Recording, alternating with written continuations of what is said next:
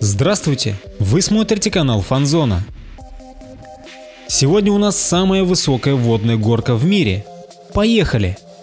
Водная горка с немецким названием Verrückt находится в аквапарке Schlitterbahn в городе Канзас-Сити. Этот аттракцион больше похож на американские горки, чем на классическую водную горку. Verrückt гораздо выше большинства водных горок, а также имеет вираж, заставляющий уже спустившихся вниз людей снова подняться вверх и вновь скатиться вниз на впечатляющей скорости. Горка выше Ниагарского водопада, вам нужно взобраться по 264 ступеням, чтобы попасть на вершины горки.